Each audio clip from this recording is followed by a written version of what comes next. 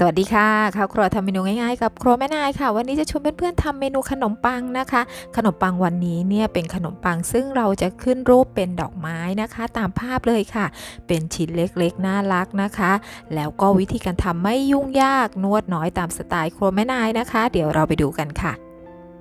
ก่อนที่เราจะไปชมอย่าลืมกดติดตามและกดกระดิ่ง เพื่อไม่ให้พลาดคลิปใหม่ๆค่ะ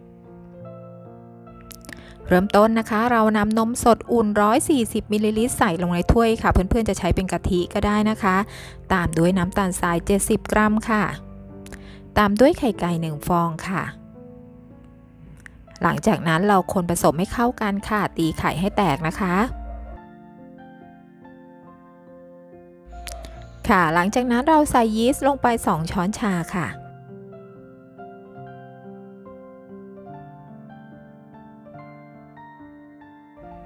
ค่ะ แล้วเราก็คนให้เข้ากันนะคะ หลังจากนั้นเดี๋ยวเราจะพักในส่วนของของเหลวนี้ไว้สักครู่ค่ะ แล้วเรามาดูในส่วนของของแห้งค่ะ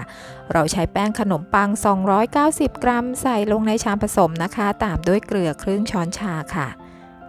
แล้วคนผสมให้เข้ากันค่ะ หลังจากนั้นเราทำหลุมตรงกลางไว้นะคะ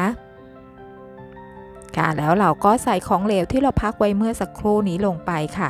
ปาดเอาน้ำตาลลงไปให้หมดนะคะ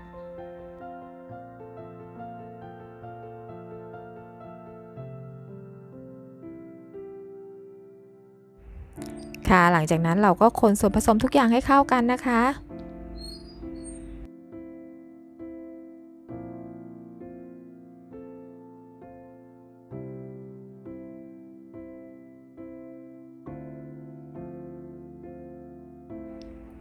ค่ะ เมื่อเราคนไปสักครู่หนึ่งเขาจะเริ่มหนืดแล้วใช้พายคนไม่ได้เดี๋ยวเราจะนวดกันนะคะ ก่อนจะนวดเราใส่เนยสดหรือมาการีนลงไป 50 กรัมค่ะ หลังจากนั้นเราใช้มือนวดนะคะ เราจะนวดประมาณ 5 นาทีค่ะ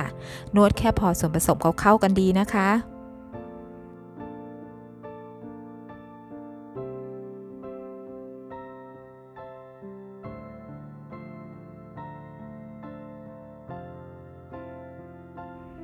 ค่ะ พอเขาใกล้ครบเวลาเนี่ยเพื่อนๆอาจจะจับแป้งเขาตีลงบนกระมังแบบนี้ก็ได้ค่ะ สัก 3-4 รอบนะคะค่ะเมื่อนวดครบเวลาแล้วนะคะ เดี๋ยวเราจะพักแป้งค่ะ ก่อนพักแป้งเราเใส่น้ำมันพืชลงไปนะคะโรยลงไปบนตัวโดนิดหน่อยค่ะ เพื่อที่ว่าไม่ให้โดเขาแห้งนะคะ ให้เขาชุ่มชื้นเนาะเราก็ทาให้ทั่วโดเลยค่ะ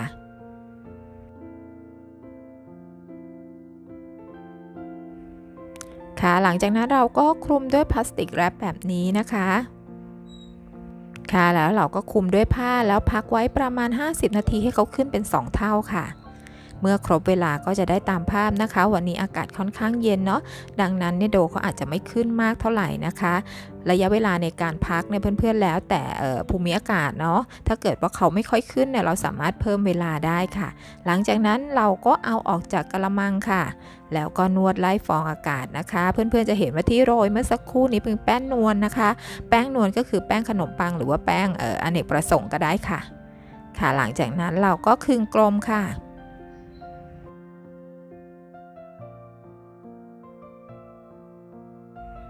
ค่ะแล้วเราก็แบ่งเป็น 2 ส่วนนะคะทำงานทีละครึ่งจะได้ง่ายแล้วก็สะดวกค่ะ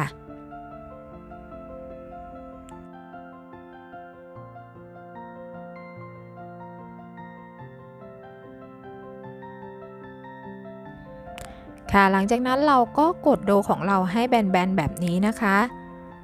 แล้วเราก็ใช้ที่คลึงแป้งค่ะ คลึงให้เป็นแผ่นบางๆนะคะ เป็นแผ่นสี่เหลี่ยมบางๆค่ะ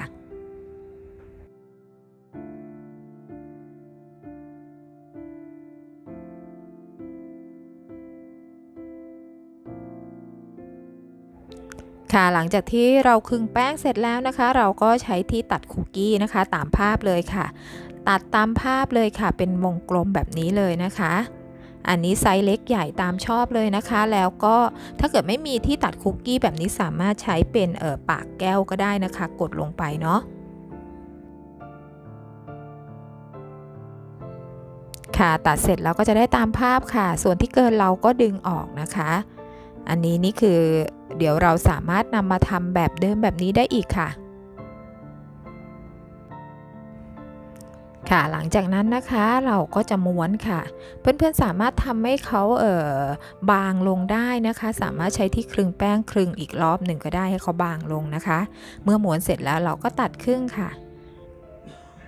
ค่ะ เราก็จะได้โดลักษณะแบบนี้นะคะ คล้ายๆ เป็นดอกไม้ดอกเล็กๆเนาะหลังจากนั้นนะคะเราก็เอาไปวางในพิมพ์ค่ะ วันนี้เราใช้พิมพ์เค้กปอนนะคะกลูกกระดาษไขให้เรียบร้อยค่ะ แล้วเราก็นำดอกไม้ดอกเล็กๆนะคะ ไปวางแบบนี้ค่ะทำให้เต็มพิมพ์เลยค่ะ วิธีการเดียวกันเลยค่ะถ้าเพื่อนๆอยากให้กลีบดอกเขาคมมากขึ้นนะคะสามารถรีดแป้งให้แบนกว่านี้ก็ได้ค่ะค่ะ ก็ง่ายๆเลยค่ะ ม้วนแล้วก็ตัดครึ่งแบบนี้เลย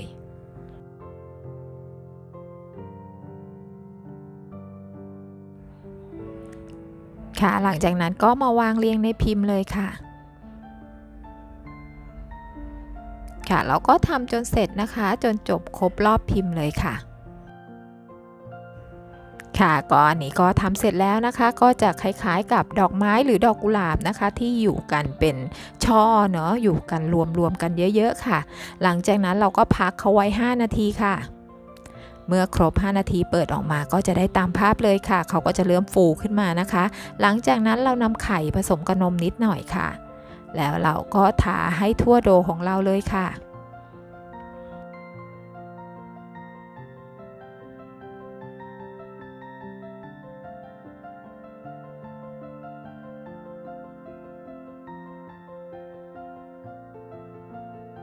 ค่ะนี่ก็ทาทั่วโดแล้วหลังจากนั้นเรานำเข้าเตาอบอุณหภูมิ 170 องศาเซลเซียส ประมาณ 20 นาทีขึ้นอยู่กับเตานะคะ อบจนกว่าเขาจะสุกเหลืองสวยนะคะ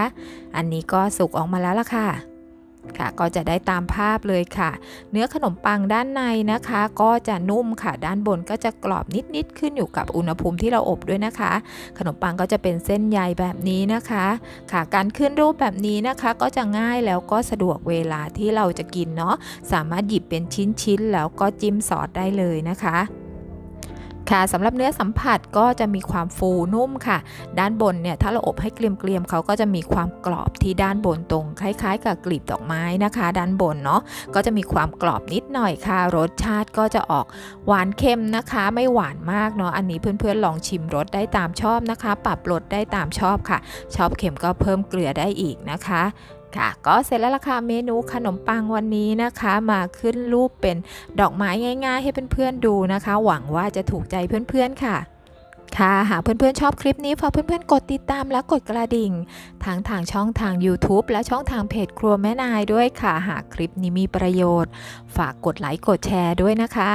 สำหรับคลิปนี้ขอบคุณและสวัสดีค่ะ เจอกันคลิปหน้าค่ะ